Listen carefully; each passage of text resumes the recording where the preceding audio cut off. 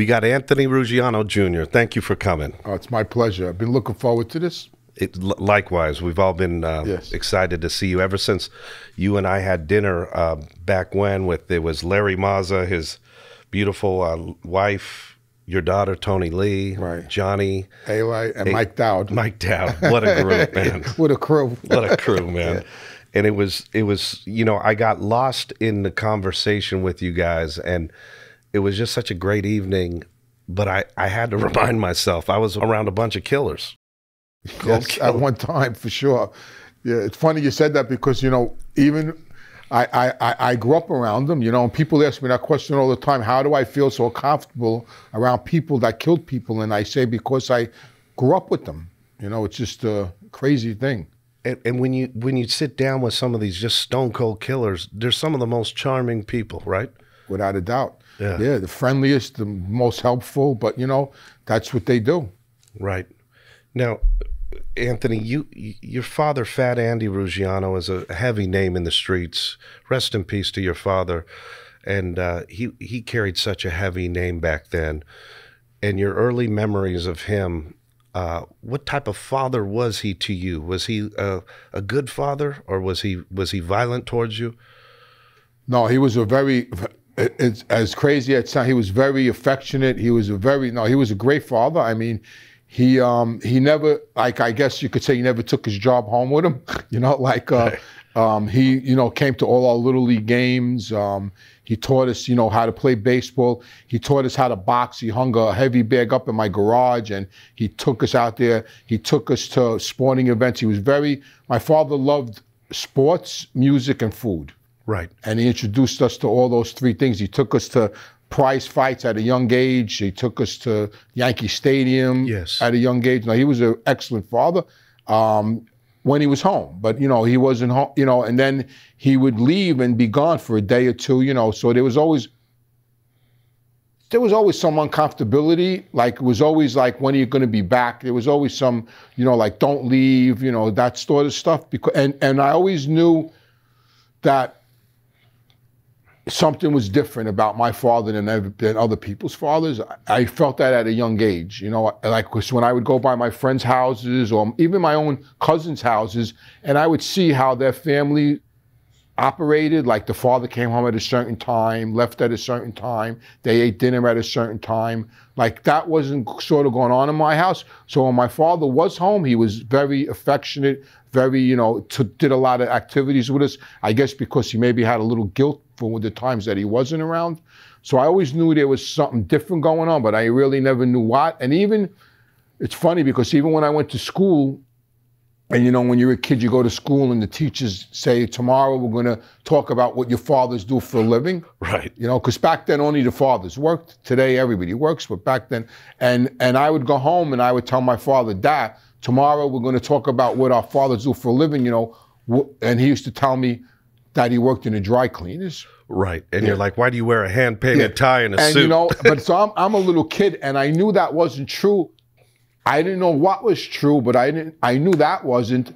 And, but I would roll with it. You know, I would go to school the next day and say, my father works in a dry cleaners, you know, and the reason why I used to say that is because he was on the books. He, he, a guy around him owned dry cleaners and he was on the books at these dry cleaners for income tax purposes. Right. So that's why he would say he worked in a dry cleaners. So, but I knew that was bullshit. You know, I knew that, but I rolled with it. But he was a good father, and uh, he was a good uh, a good uncle. He was a good son. I mean, he was a good family man. Yeah. Yeah, and yeah. I could tell you're a great fa- family man. The way you interact you. with your daughter, Tony Lee, you brought her to a, you know, a Dua Lipa concert. Yes. I mean, I saw the warmth. I felt it and and that's that's a beautiful thing. Thank you. And that's what it's supposed to be about, right? The La Cosa Nostra was about brotherhood and family, Yeah, right? it used at one time it was. I mean, it, it's not like that today, but definitely at one time it was definitely like that. I mean, you know, when when I was coming up, you know, when I was a kid and I would go with my father to you know his clubs, and you know, there was always a lot of you know. Everybody was tight, you know. The, we, we all went to, you know, they all baptized each other's kids. They all, you know, went, you know, to each other's birthday parties. I mean, it was very family oriented uh, when I was younger, and eventually that sort of, Right. you know, drifted away. Did your mother know your your your father was a big mafioso? It's funny you said that because my mother always used to deny that. So my mother, see, my my my my father wasn't straightened out yet when he met my mother. He was he was my he met my mother when my mother was only 18 in Coney Island. He met my mother at a at um at a beach bar, and it's funny because my mother went there with her girlfriend who had a date with this guy Lenny Dodone who actually baptized me. And Lenny Dodone's uncle was Happy Maione, who was an original member of Murder Inc. Wow. So her girlfriend had a date with Lenny, and sh- my mother went with her. And Lenny was at this bar with my father, and Lenny and my mother's girlfriend introduced my father and my mother to each other. And um, so my father had gotten up to go to the men's room, and this other guy came over and started talking to my mother and told my mother, Who you here with? She goes, I'm here with some jerk named Andy. And the guy got all nervous and walked in, Andy, oh, and and he like walked away. So that was my mother's first little inkling. But she, yeah, but he wasn't straightened out yet. He was actually working on an A&P truck when he met my mother because he was on parole. Okay. But then later on, she found out. She found out. But uh, yeah, she she was sort of in denial of it. My mother. But she knew. Yeah, she knew. Yeah, she knew. But She it- knew. Italian women are Yeah. they're down for She this. used to tease us and say, I don't know. And they used to say he was a button guy. I thought like he sold buttons. And my, it's like, come on, what are you kidding me? Yeah. No, that's interesting. And the way your your Fat Andy got made and got introduced to the mob was he was jacking Charlie Wagons' uh, gambling dens, right? Yeah. So when he came out of prison, he was a kid, and him and Tony Lee were partners, and they had no money. You know, they were they were you know they were piss poor. You know, they came from poverty. My father came from poverty, and uh, so yeah, he had no job. He was working on an A&P truck just to because he was on parole. But you know that was he, he was and on the side, him and Tony were robbing poker games because they were renegades. They knew that they were mobbed up, but you know he he was just a he was just a wild kid, my father, and uh and they were robbing poker games, and they happened to rob Charlie Wagon's poker game, and um you know, Charlie sent for this guy Albert Maione, who was Happy Maione, like I said earlier, a member of Murder Inc., was his brother, because that that crew, Murder Inc., was out of my father's neighborhood, East New York, Brownsville. That that was that crew, that was that was there, and um, so he asked Albert, "Who's this kid Andy?" And Albert said, um, "He's Liberty's bro- kid brother. Liberty was my uncle Frank, but his nickname was Liberty." and they everybody knew my uncle. So um, Charlie goes, Liberty's kid brother. He goes, this kid robbed my poker game. Is, do you think you could get the money back? And Albert, you know, and I heard this story many times throughout my life, even from Albert, uh, the original Albert Maione. And he said, you know, and he left it. He goes to Charlie, this kid ain't going to give you back the money. He goes, either you could kill him or give him a job, but you ain't never getting the money back. Forget about that.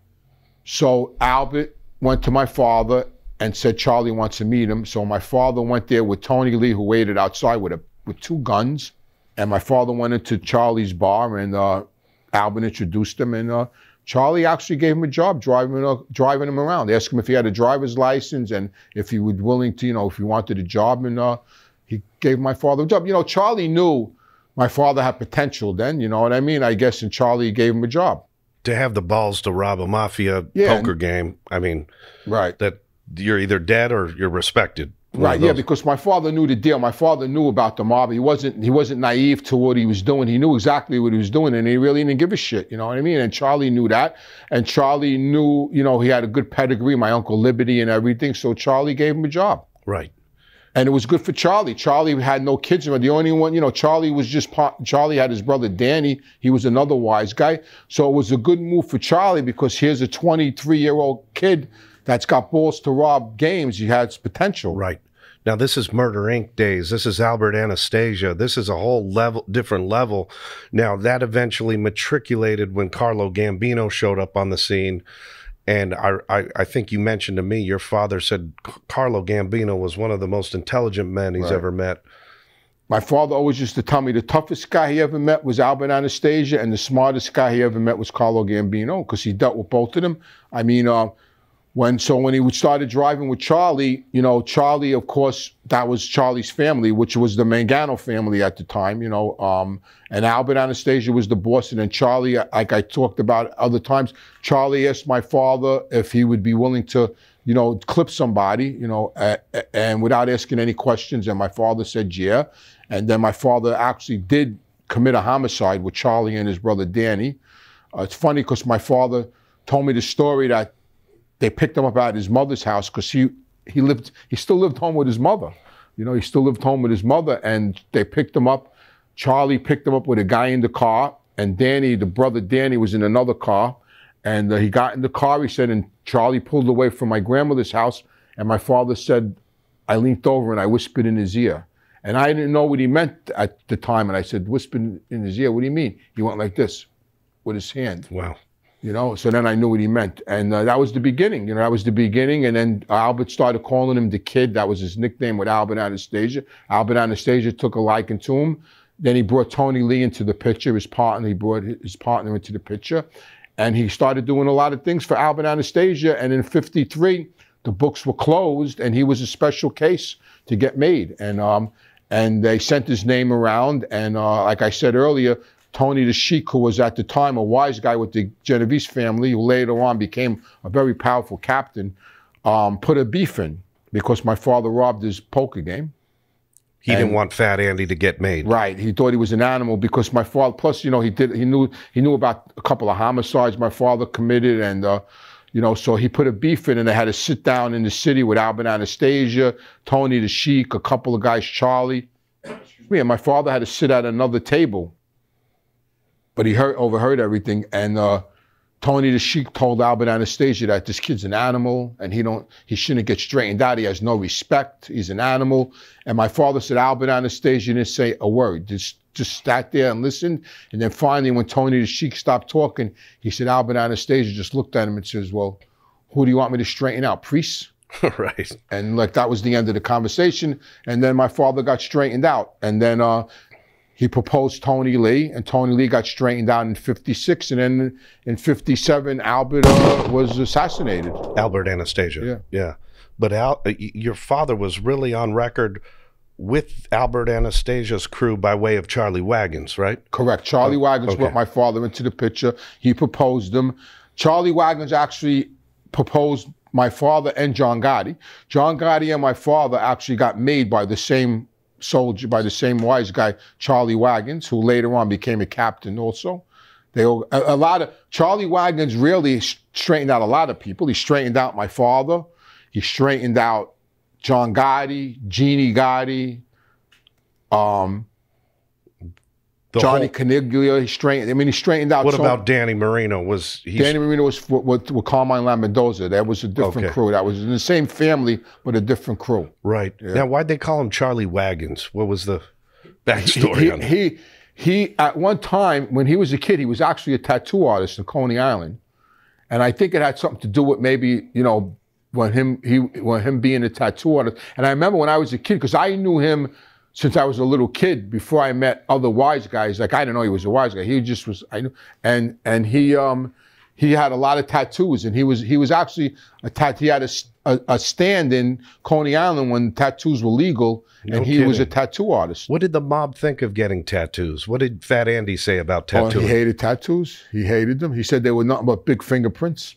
Yeah, he hated them. When I got my first tattoo when I was a kid, he like flipped out on What'd me. you he ripped, get? He What'd ripped his shirt Anthony? off. I had so what happened was I, I got a it was they were illegal in New York, so I went it's funny, it's a funny story because what happened was I um I my friend Sal wanted to get a tattoo, so I went with him to this guy's house in this guy's basement, and he got his tattoo. And then the guy, I saw this like rose, and I told the guy, and I got the rose on my arm with mom and dad in it to try to like pacify my father, and, I, and I hit it. And then one day I heard my mother say, You better go check your son. He's sleeping with pajama tops on. He's hiding something on his arms and maybe he's taking drugs.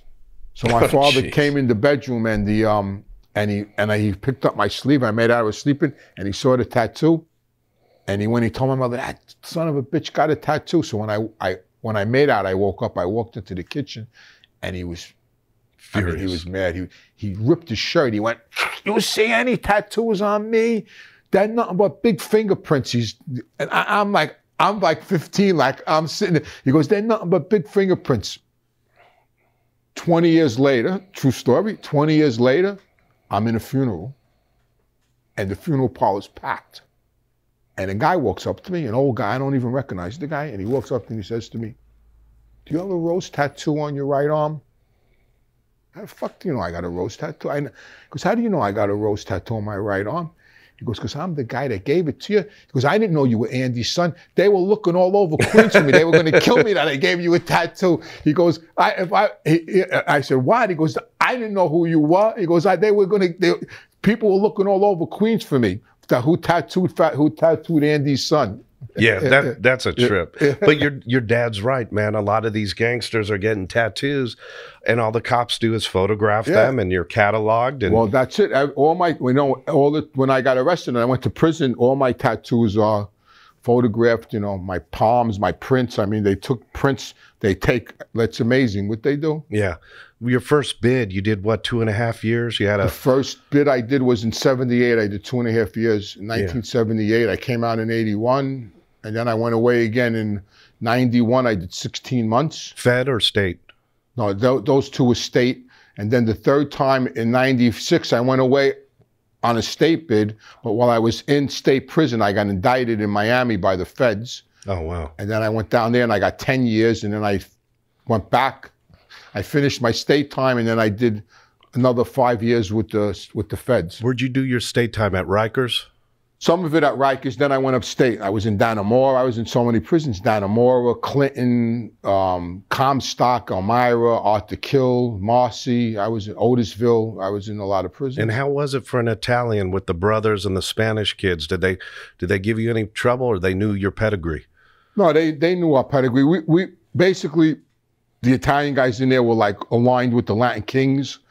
Uh, mostly like we use their phones. You know, if you if they knew you were all right and you had somebody in the street, like it, it- you you know, I never had any issues. I mean, that I was lucky because of course I was Fat Andy's son, so I had like a little bit of a reputation. So any wherever jail I went to. People knew I was coming, and they were like waiting for me when I got there, like with, you know, with shower slippers and you know all the little Little care necessity- Yeah, packages, yeah, yeah. yeah you know, like a sandwich, you know. So, so I, I, I- I pretty much, um, I was okay. So your never- time was uh, was done rather rather peacefully. You didn't have any beefs or any bullshit. I mean, I had some arguments, you know, Yeah. bullshit arguments with a couple of guys. I never, you know, I had a couple of fist fights, but you know, nothing crazy. You know, nothing out of the ordinary. No stabbings or no riots or nothing like that. But you know, I, I was okay. You know, I, listen. I, I, I, you know, there's, there's, there's, there's, uh, there's, there's three cardinal rules in, to, that you live by in prison. If, and if you, if you don't break any of, of those cardinal rules, you're gonna, you know, it, it's gonna, it's gonna be safe. You know, uh, so there's the three cardinal rules, and I, I don't, I don't want to be, you know, I don't want anybody to take this the wrong way. So there's three cardinal rules. hmm One is no drugs. No drugs. The second one is no gambling, hmm and the na- third one is no homosexuality. hmm And the reason for that is if you do drugs and you owe money, you're going to get hurt. You're dead. If you gamble and you don't pay, you're going to get hurt. And as far as the homosexuality, people in there are doing forever. And they get married in there and they have relationships in there with, with you know, with gay men. So now if you're going to just go out with a gay guy and just you know, have a fling in jail, you know, you're going to get killed. You'll get killed Right. over that. So if you don't break those three rules, You're you know, good. you- you're going to be pretty good. Because when I went to, when I was in Attica and I went to the parole board, a lot of state prisons, guys get cut on their face with razors. Right. And the parole guy's looking at me like this, and he's looking at me and he says to me, How come you don't have no scars on your face? I said, Why should I have scars on my face? He says, Oh, excuse me, your reputation precedes you? I says, No, maybe because I'm a little intelligent and there's no reason And you played the game scars right. on my Yeah. face. Yeah, exactly. Yeah. Right. No, I hear you. Mm. But that that's interesting. Now you you you told a story about when you went to prison. They threw a party for you at a social Oh, club. Yeah. D- what was that experience like, So Anthony? in '78, I had to turn myself in. So I, I I was out on an appeal bill and I lost my appeal. So they gave me a date to surrender.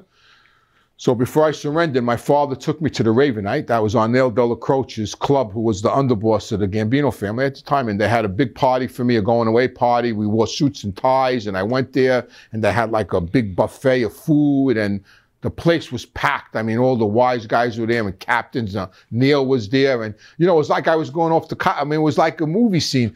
you know, I walked in, everybody's patting me on the back, hugging me, kissing me. You know, telling me don't worry, schooling me. Like they take me in the back, they sit me down at Neil's table, and Neil tells me, if anybody tells you anything, just send their name out to us. Don't make friends with nobody till we give you an okay. And they gave me this whole big schmeal, and uh, it was like I was going off to college. Like I was They going laid to the game Harvard. down for yeah, you. it was like a it was like New Year's Eve. It was crazy. Instead of Penn State, it was the state pen. yeah, huh? yeah, yeah. I went to Dannemora.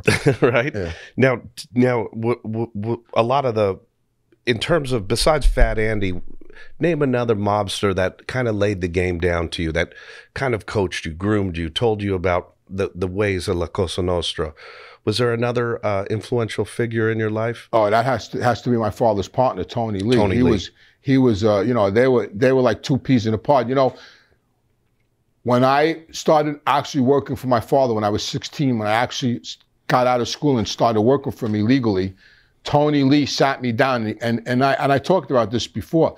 He told me, before you commit to this life, he says, go to take your girlfriend Alice and go to Washington, DC and look at the Justice Department building, he told me.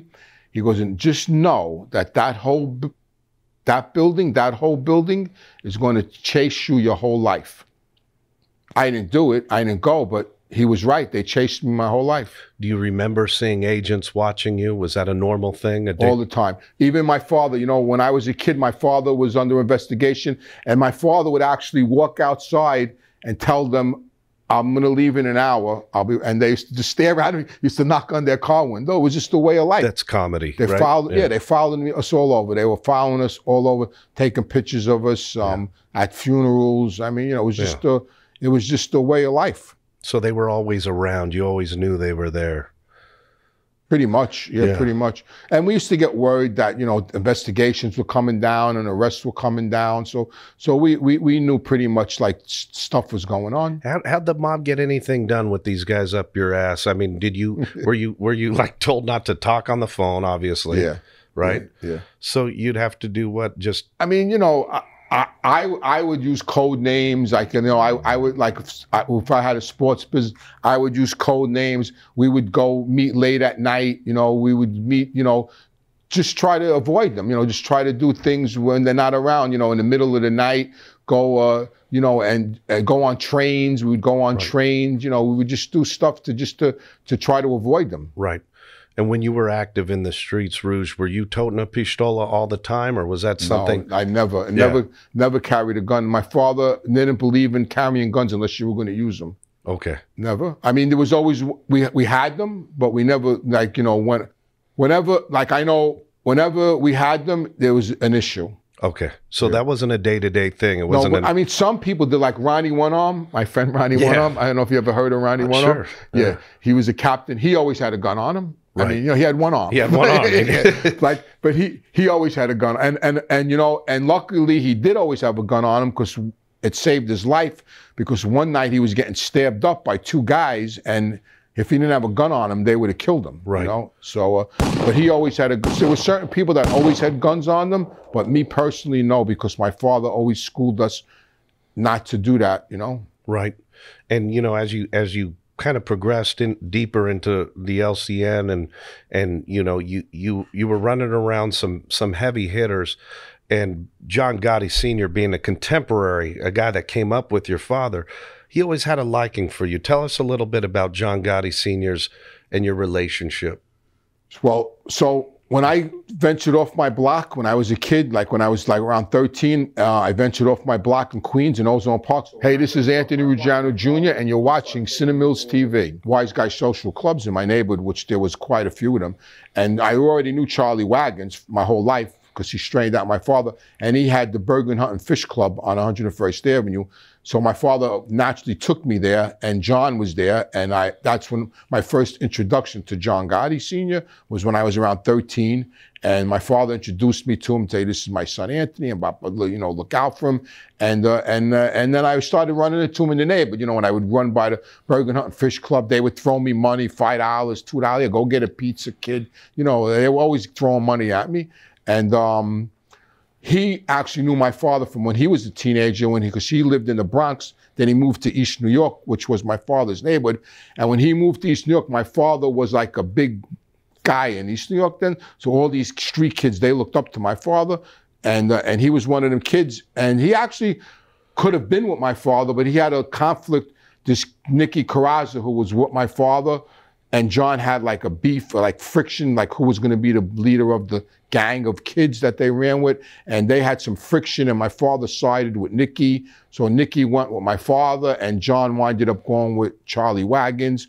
But they always respected my father. And what about Angelo Quack Quack? He Tell was us. always in the picture. Yes. Yeah, he was always in the picture. He loved my father. He used to tell my father everything. So, and I met him the same time I met uh, John. I met Jeannie, and uh, my relationship started developing with him as I got older you know, I, I would always be in the Ravenite. He would be in the Ravenite. Um, and it's funny because um, even in 1978, I remember I was I had to turn myself in on that case that they had that big party. And the day I went to turn myself in, I went to get a haircut. I don't know. Why I was a kid. I was 23 years old, and to in this place called Father and Son. And who walked in to get a haircut? John Gotti and Angelo Quack Quack walked in, and here I am. I'm sitting there, and John says to me, what are you doing? Don't you got to turn yourself in today? I said, Yeah, this afternoon. He goes, What are you doing here? I said, I'm get, getting a hair. He goes, Get out of here and go home to your wife. What are you crazy getting a haircut? And, you know, they were laughing. He paid for my, my haircut. That's but he was always, you know, so out of respect for my father. And I think he always liked the fact that I was a convict. I think he always liked the fact that even though I was Fat Andy's son, I was getting pinched. I was in the street. I was working in crap games that he would come to. I was writing numbers. You know, like I, I was in, I was in the in the mix. Like I was in the, you know, I was in the street. You know, right. I, and and and I think he liked that, and uh, and he respected me for that. And um, we were both Scorpios for some reason. That meant something to him. You know, his birthday's October 27th. My birthday's October 29th. So for some reason that you know, tickled his fancy. We were both Scorpios. And, uh, and he was a Yankee fan. I was a Yankee fan. He loved the racetrack. I loved the racetrack. So he always looked out for me. Um, he always helped my father. When my father was sick in prison, he had cancer. They, they, you know, him and Tony paid twenty five thousand for my father's operation. Right. You know, and he said, you know, no friend of mine's going to die in prison wow. if I could help it. Um, he loved my mother. He always looked out for my mother. Yeah. Um, yeah. So uh, yeah, we, I had a great relationship with him when you came out of rehab, right? He shot you a few fuzzles. He bought you a new Cadillac. No, it wasn't a Cadillac. What was it? Okay, so um, I, you know, he knew I had an issue with. He, like I said, he always looked out for me, and he never abused me. He never yelled at me. I mean, even when he was mad at me, he he he was he was good to me, and um, so I was in treatment. I got out of treatment on a Wednesday, and I went to see him that that Saturday. He used to hold court in the Bergen Hunt and Fish Club. Every Saturday, he would have lunch when he was the boss. So I went there Saturday to see him with Tony Lee, and he took me outside, and he asked me, he goes, "How you doing?" I said, "I'm doing all right." He says to me, "You got a beat." I said, "I don't know if I got a beat, but I'm going to give it my best shot." You know, I. And he goes, Well, I don't want you stressed out. He said just like that. I don't want you stressed out. So is there anything I could do for you?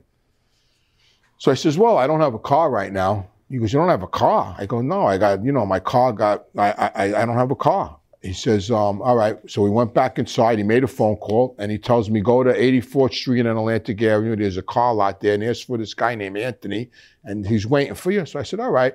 So Tony takes me there. I walk in the car lot. The guy says to me, I said, you Anthony? He goes, yeah. I said, he goes, take, take whatever car you want. So now, of course, I'm looking for a Cadillac now, right? I'm Right. going to take any car I want, right? So, so I'm looking around, and I and I couldn't find the Cadillac, but I saw this beautiful, nice white four door Bonneville, white, beautiful car, saddle interior, gorgeous. Back in the day, the Bonnevilles they were they were great. So I said, I like that car. So I get it. I drive out. I leave. I go back to the Bergen Club with the car to show John the car. He goes, Oh, nice car. He's looking at it. Thank you. And he says to me, He hands me money. He goes, Here. He goes, Listen, here's $2,000. He says, I want you here every Saturday with $100. He said, And don't, and he pointed at me with his finger. He says, Don't disappoint me. I said, You got it. I went back the next week. I gave him 100. I went back the week after that. I gave him 100. I went back the third week. We go for another walk, and he says to me, "How you doing?" I said, "I'm doing great," and I was doing good. You know, I was looking better. I had nice clothes on. I was, you know, I, I'm clean now, like a month. You know what I mean? Like I- I'm feeling good. I'm back in the street. You know, like, and uh, and and he says to me, "All right." He goes, "How much you owe me?" I says, "Well, I owe you seventeen hundred right now." He goes, "Okay, well, keep it as a gift." He told me. Wow. You know, like that's how he was. You know, that's why you know people want me to talk bad about the guy, and I have nothing bad to say about the guy. You know, he listen, he was who he was. You know, Right. there's no sugarcoat. He was a killer. He was a heroin dealer. He was, you know, he he he he was whatever he was, but he was my friend. Right. And and that's something John Alite mentioned. He said when John Gotti loved you, he loved you. But do not cross that man. You know, that was the takeaway from the John Gotti feel. You know, with me, it was like how I saw him was right was right and wrong was wrong. You know, and if you were right, you were right. If you were wrong, you were wrong. And like we had some mutual things, and he we had some mutual respects. And of course, you know, I was Fat Andy's son. You know, I'm not Sure. saying that didn't help, but Sure. but on a personal level, you know, we had some personal conversations. Like you know, we like, you know, one time, one time we were in um, Peter Luger's. Best steakhouse ever, by the way. Yeah, yeah, in Williamsburg. And um, and we come out of now. My brother had a really major marijuana business. Your brother Albert. my brother Albert had a major marijuana business. So we come out of Peter Luger's, and his my father was there, and uh, he wasn't the boss yet, John. He was just a captain then. And we come, but everybody still wanted to be up his ass. You know what I mean? So we come out of Peter Luger's, and there's a whole, there's like ten of us, and we had like three different cars. And he looks at my father, and he says, "Listen, I'm going to take your son back with me and him. I want to talk to him, just the two of us." So my father looks at me, and goes, "My," he goes, "Yeah," and I'm going like, "What the fuck this guy want with me, right?" So we get the car, we get in the car, and and he's driving, and I'm sitting there, and it's just me and him in the car, and he and he tells me, he says to me, uh, "So."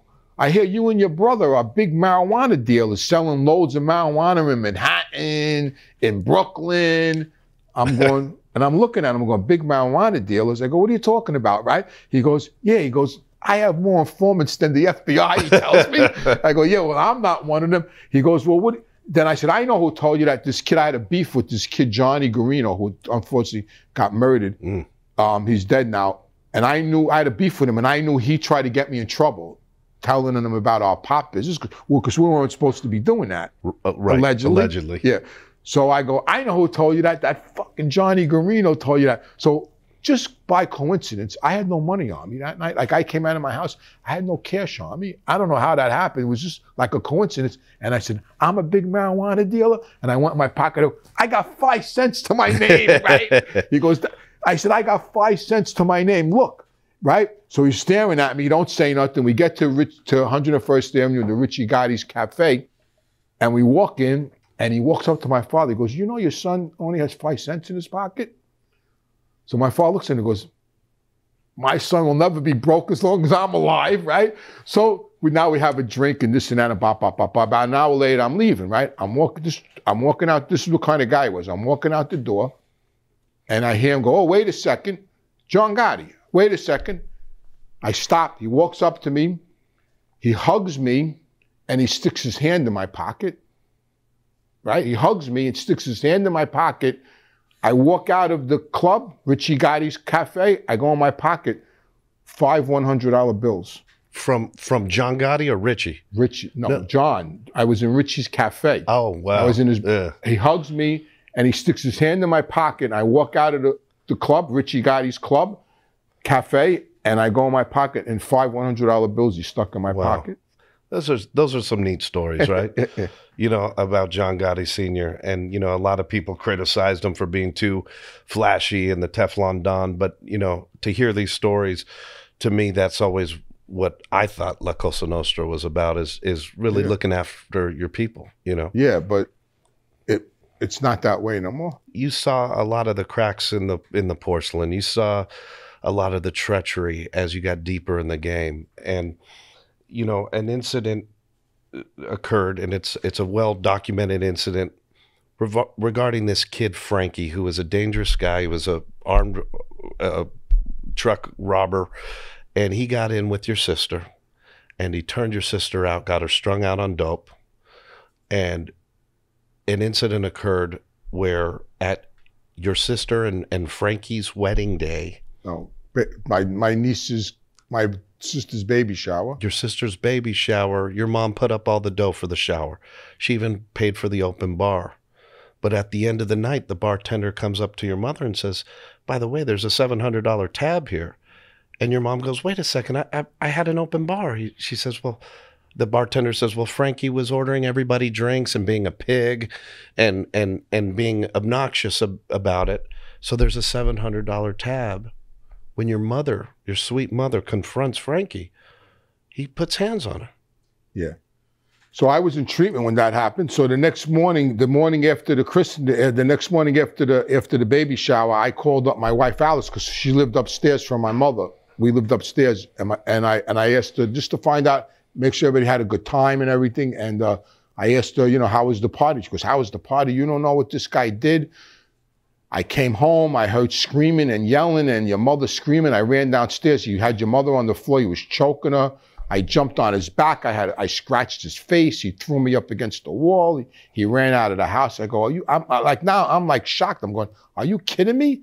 I said, I, I- couldn't believe he did something like that. So I, I'm in treatment. I didn't leave. I wanted to finish because I had to address my issues. I got out of treatment and um, I went to see my father's partner, Tony Lee. And I told him, you know, this guy beat my mother up. And he said, yeah, I know. I said, you know. I said, well, what are we going to do? He goes, we're going to clip him. What do you think we're going to do?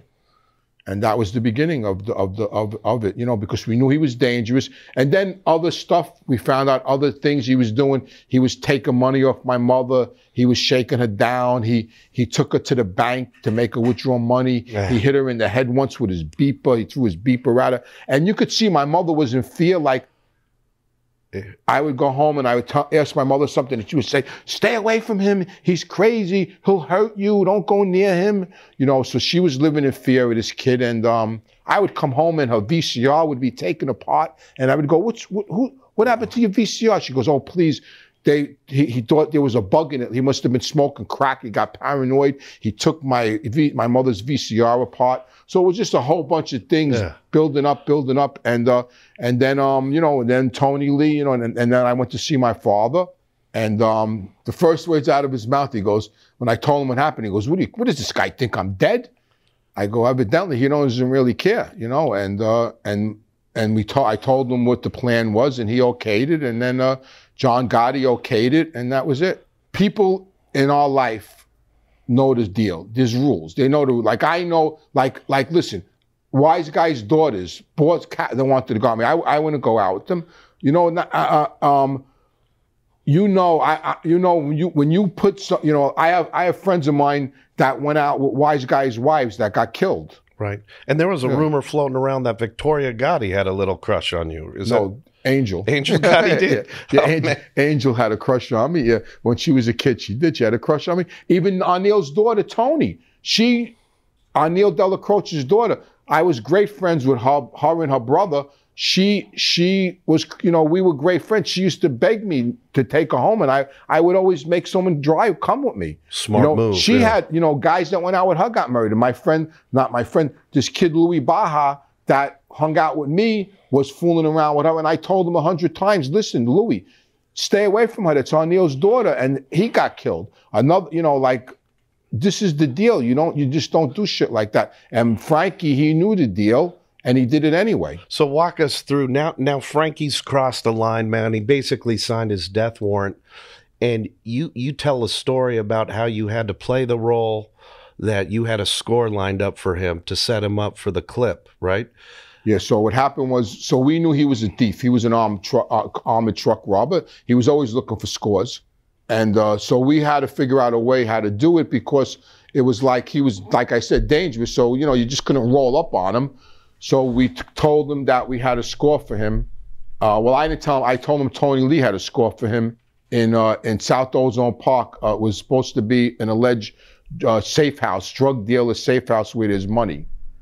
So uh, we told him that uh, I told him Tony Lee wanted to talk to him about it, and uh, I would come pick him up the next day. And uh, and um, the next morning I went, I picked him up, and I brought him to Cafe Liberty, and uh, that's where, and that was it. Now, how now, how in God's good green earth did Frankie not think he was going to get clipped? Was he that high on drugs that he thought, "Oh, I'm just going down the street with Anthony"? You know, I mean, did he know it was coming or no? I think he just underestimated me. I think he, I think he didn't think that I told anybody the, about the incident with my mother because, uh, you know, um, he just underestimated the whole situation because he he he came willingly and he had no suspicions of anything. And uh, you know, I just think he underestimated the whole situation.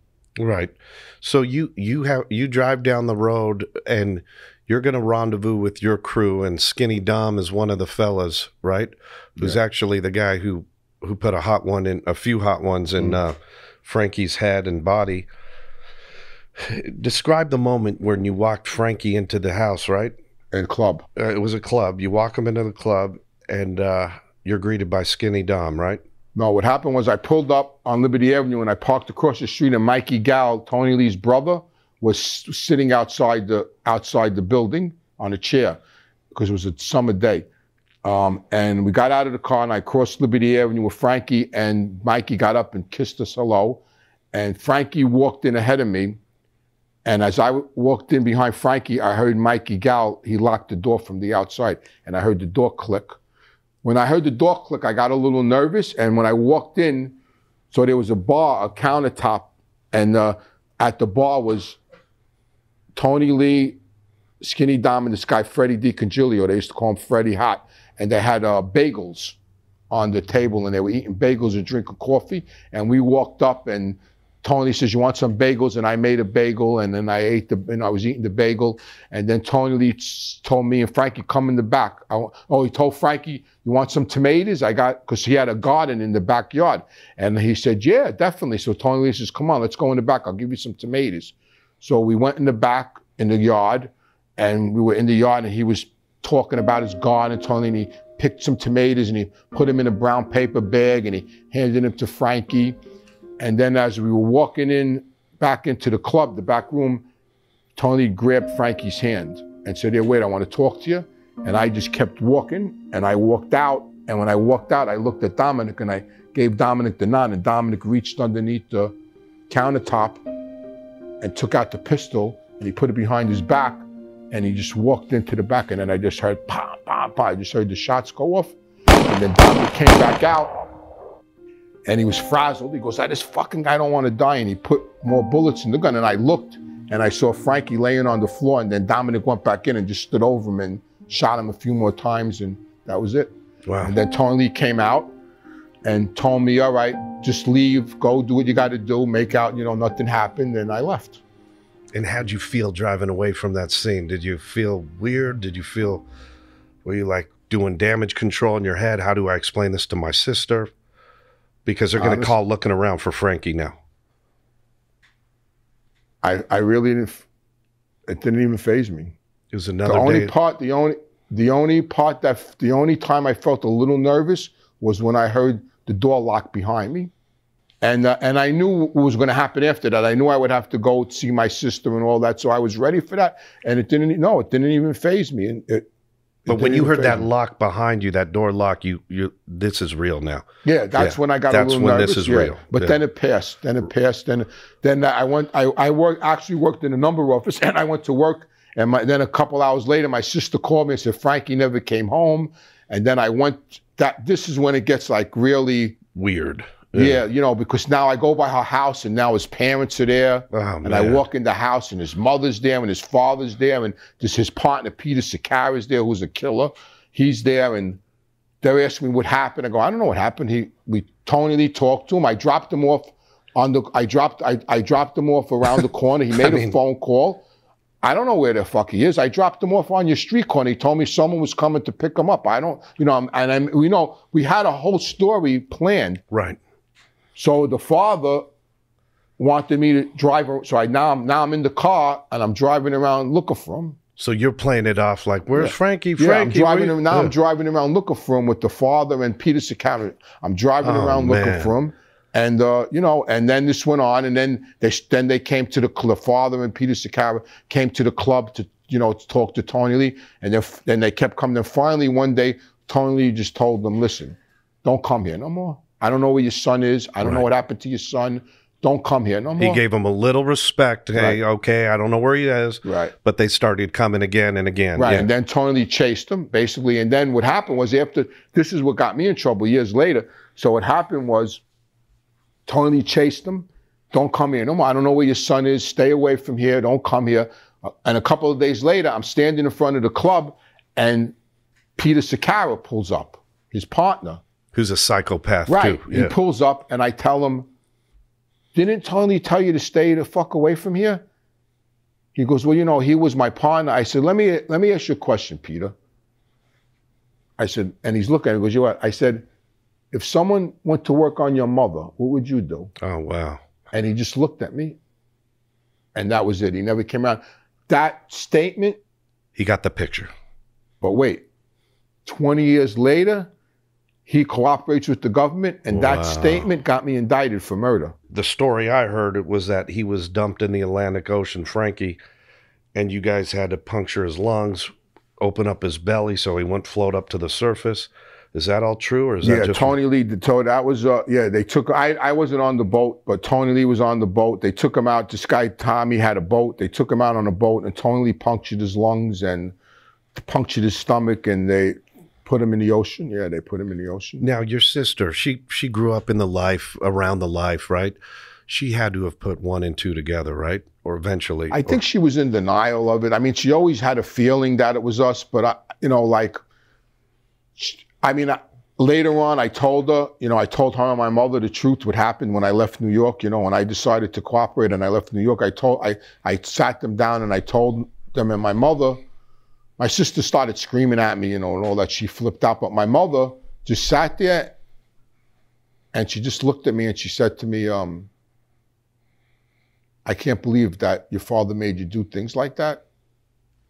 Listen, we, you know, I, I went out for dinner with people that I knew were dying. I mean, I went out with people that I knew that, they, you know, were having dinner on a Monday and I knew like Wednesday my father was going to kill them. You know what I mean? Like that was just the life people, people were in, you know, that was how we were raised and that was the job. Like they call murder work.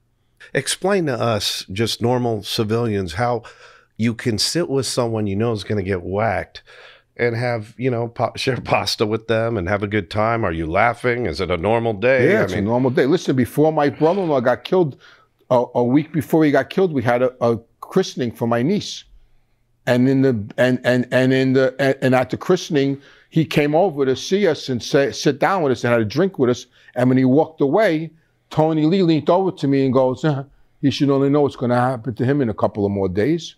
wow. Yeah, no, that's the that's the somber That's the part life. of the life. Yeah. yeah. No, that's that's the chilling part, if you will. You know, but it is what it is, man. And you know, you you talked about having a, a cocaine problem, and what I learned from you, which I found interesting, is a lot of wise guys kept a little booger sugar on them, man.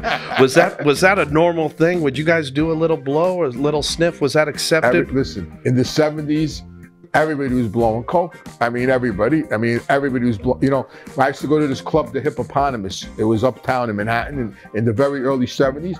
You went in there and everybody was blowing coke. I mean, Even the mate guys. Everybody. Everybody. What My about- father used to tell me, He goes, "Oh, were you in the hippo last night, sticking that shit up your nose?" and I would tell him, "Yeah, you should only know who was standing next to me." He goes, "I know them dirty son of a bitches."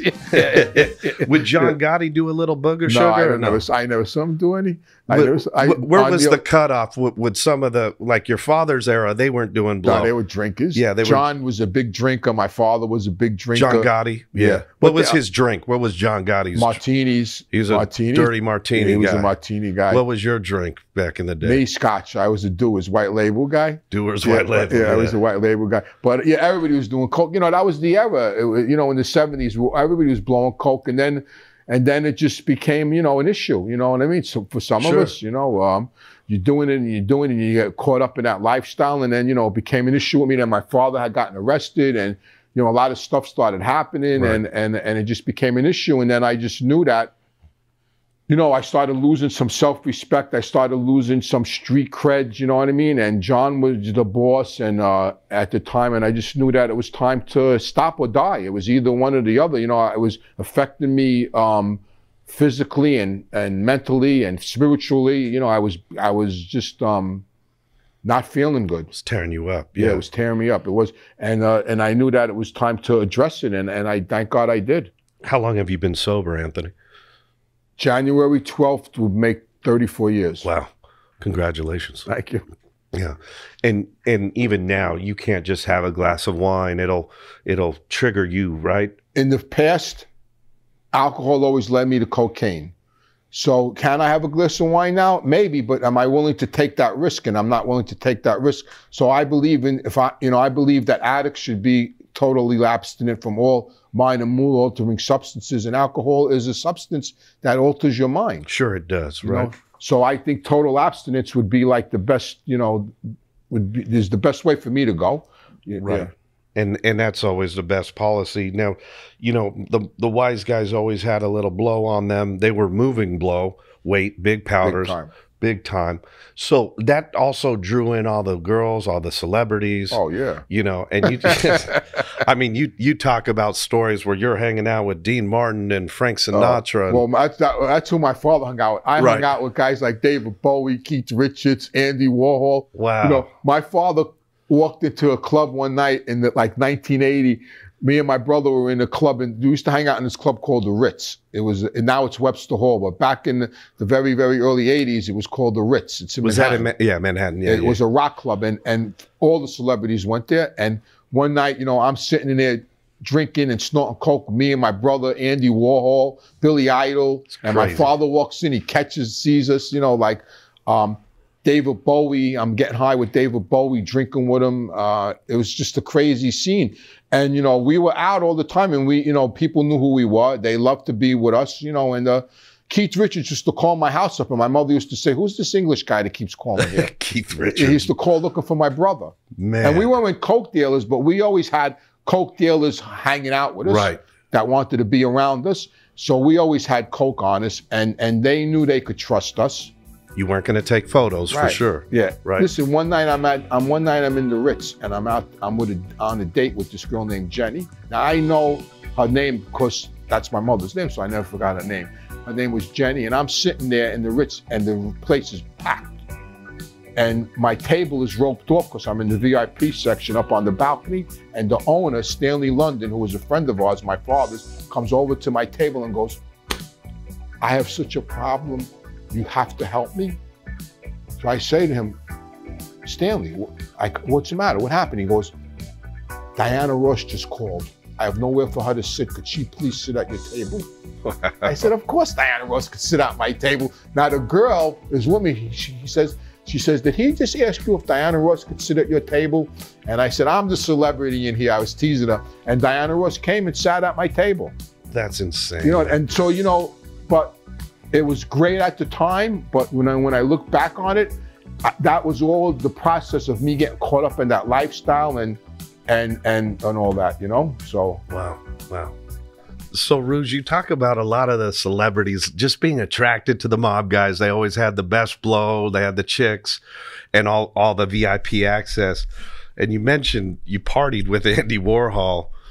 Did you ever like ask him for a piece of art or did you did you realize the gravitas of Andy Warhol when you were in that mode? you know, No, because you know, so I'm hanging out in this club called the Ritz, which now is Webster Hall. Andy Warhol used to come up there and I got introduced to him and he would sit with us and he would snort coke with us and he would drink with us and you know and and I would go to his loft and you know and he would give stuff away like I would see him take a napkin and draw something on it and give it to somebody today them things are worth millions who knew back then he would paint draw a Marlboro box or a Campbell soup can. Like who knew? Like back, my my, I just wasn't in the right frame of mind. Like it was a party, like I was out there partying, and and I just couldn't see what the the gist of it was, and uh, so I never took anything. But I could have took anything I wanted off him. And to this day, me and my brother, we always talk about it like what idiots we were. We could have got anything we wanted off the guy, and we never took anything off him. We just hung out with him. Right. Even my father met him one night with us. He came up to the Ritz one night and he, he was sitting with us. And my father said, Who's this guy? You know, because he had the hair, you know, this way, you know. And my father goes, Who's this guy? And he went, I'm Andy. And then he just like got up and he left the Andy, I said, That's Andy Warhol. He goes, Who the fuck is Andy Warhol? That's a trip, man. Yeah. And you know, your father had his celebrity hangarounds, you know, from Dino Martino to Yeah. to Frankie Sinatra, Sinatra. yeah, Frankie Valli. what- what's the deal with Sinatra? I, you know, I heard he was a bad drinker, but was he? Was the rumor that he was a made guy? Was that ever verified? So my father used to go to Jilly's all the time. That was where Sinatra, whenever Sinatra was in Manhattan, he always hung out in Jilly's. That was his guy. Jilly, that was one of his main, they claimed that was his bodyguard. So my father would always go there and, and Frank Sinatra would always send Jilly over to my father to come sit with him. And my father didn't want to sit with him. And I used to tell my father, why don't you want to sit with this guy? And he told me because he's a bad drinker. And I heard that when he gets drunk, he abuses people. And if he starts abusing me, I'll knock him off the chair and then I'm going to have a headache. So my father didn't want to sit with him. Eventually, my mother was there one night with him, and my father wound up sitting with him. And, uh, you know, they liked each other. And, and then my father started sitting with him later all the time after that when he ran into him. And my father told me the rumor was that he was straightened out, but he didn't know if it was true or not. But that was the rumor. He was technically with, on record with guys out of Chicago. That's what my father told me. Interesting. Now, w- when Frankie asked your pops, he says, Frankie goes, "Who's your favorite singer?" What'd he say? Yeah. So they're sitting at the table, and Frank Sinatra leans over to my father, goes, Andy, who's your favorite singer? So my father goes, Who's my favorite singer? Mario Lanza. So my, Frankie, Frank Sinatra goes, Mario Lanza. What does he have that I don't have? And my father like just laughed and goes, Come on, Frank, you know Mario Lanza. Come on, man. What are you kidding me? Mario He Lanza. loved my, my father Yeah. loved Mario Lanza, Joe DiMaggio, and Rocky Marciano. If you said anything bad about those three guys, you had a problem. Yeah. Like those are his three idols. Yeah, I remember my grandmother loved Mario Lanza. That Yeah. was the guy. My father used to play his records and then then interpret all the Italian words to me. those were the good days, you know. But you know, with with every good, there's a bad, and and you know, towards the end of of your your your mafia career, if you will, you start to realize that your co-defendants in the Frankie murder, which you get charged for in what 2005. Yeah, I got out of prison in 04. You know, it started happening when my father died when I was in prison. I got out of prison in 04. Um, and then about uh, maybe 10 months later, I got arrested for I got arrested for a murder. Um, when I got arrested for the murder, nobody was really looking out for me. Um, my co-defendants weren't looking out for me. Um, I needed. I, I was working. Um, I was waiting to get straightened out. I was waiting for them to have the ceremony, which they didn't have yet. And um, I was working driving a truck actually when I got arrested. And um, I needed twenty five thousand for an attorney. Nobody wanted to help me. Um, and finally, an attorney to, that was going to do my my motions came up with something that might help me. Um, with the time frame to get one of the predicate acts thrown out of the RICO, which would be the murder. So they needed help from my co-defendant's attorney. So they called up my co-defendant's attorney and asked for this, this the help, and my co-defendant's attorney told them no. Which means, in legal words, they were going to dump the whole thing on you. And this attorney told me, listen, they're going to throw you under the bus. You need to call the government. And I said, what are you crazy? I can't do that. They said, no, you need to call the government. They're going to throw you under the bus. You know, I couldn't even make the call. You know, it took me a year to make that call, and I still didn't make the call. I had a card of an agent's name, and I gave the card to my wife, and I told my wife, when you get to work, make this call, and and she did, and then and that was it. And this is a mob attorney that's giving you that advice Yes. when he says, "Hey, it's Yeah. time to tuck and roll." Yeah, you know, yeah, Ugh. and you know, but they, you know, they were good friends with me. They loved my father, you know, and and uh, and they knew, you know, I knew at that point that life was over. You know, I did 14 years in prison. Nobody was looking out for me. My father was dead. John Gotti was dead. Tony Lee was dead. Everybody I cared about was dead. The the, the people out there weren't the same. The mob wasn't the same. Um, and I hit a bottom. It was like drugs. Like I woke up one day and I was done using. Right.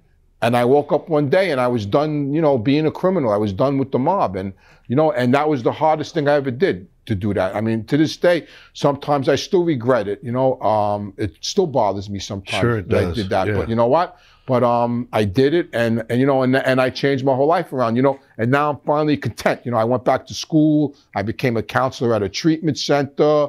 Your You know, relationship with your family I have a great relationship with my family, you know, and and and I don't have to worry about uh, hurting anybody anymore or you know getting arrested anymore. So uh, it was a big change. Right. And you, your your your father, Fat Andy Ruggiano, was uh, known for holding his mud. He always took it on the chin. You did your whole career. If F- F- Fat Andy, your father, and John Gotti Sr. were still alive today, would you have rolled or no? Never, Yeah. never. You know, and that's a, that's a good question. I like that question. You know why? Because that's why I could look in the mirror today. Because uh, anybody that really knows me, that knows me from back in the day, that really knows me, they know for a fact that if my father was alive, or Tony Lee was alive, or John Gotti was alive, I would have never cooperated. I could have never done that to them. I believe that. Never. I would, and and that's why I could look in the mirror because that was the hardest decision I ever made. It took me literally a year of picking up the phone and hanging it up, picking up the phone and hanging it up. And even when the call was made, I still couldn't make the call. I gave the card to my wife to make the call because I still couldn't bring myself to make the call. And what saves me today is that I know if they were alive, I would have never made that decision. And maybe I would have been okay and maybe I would be spending the rest of my life in jail. But at that moment in time, you know, they weren't around and, and that was the decision I needed to make. Right. No, I, I no one could be mad at you and for all the guys on the comment boards with the rat emojis and all that. You know That's what? Walk a mile in your moccasins and That's then make and then make that decision whether to send that rat emoji. You know, and it drives me nuts because a lot of the guy the biggest criticism is why are all these rats on the show and this Yeah. well you want to hear the mob stories well darn it you got to hear Yeah. it from a guy who's proffered because you're not going to hear it from an active guy Right. You know, and and and you know, I, I I have you know, there's a lot of reasons why I do this. I do this because people are interested in it, and I do this to show people that you know you could change. You know, you could change. You 100%. don't. You know, you could change. You could get. And that life. Listen, yeah, I had a great time at one point, and then I didn't. You know, there's there's Italian kids out there that think the mob is all that. The mob ain't shit.